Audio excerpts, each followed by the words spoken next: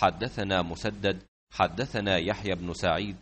عن يحيى بن سعيد الأنصاري قال حدثني أبو صالح قال سمعت أبا هريرة رضي الله عنه قال قال رسول الله صلى الله عليه وسلم لولا أن أشق على أمتي ما تخلفت عن سرية ولكن لا أجد حمولة ولا أجد ما أحملهم عليه ويشق علي أن يتخلفوا عني.